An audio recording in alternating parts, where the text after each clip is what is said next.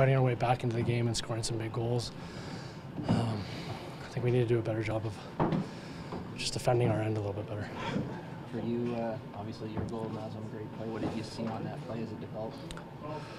Nas made something out of nothing on that one. He uh, picked his way through the neutral zone and then made another move inside on Gudas, and then uh, puck found its way over to me, and I found the back of the net. For you, it was another game where you bounced around a bit. How, how did you feel about your game tonight?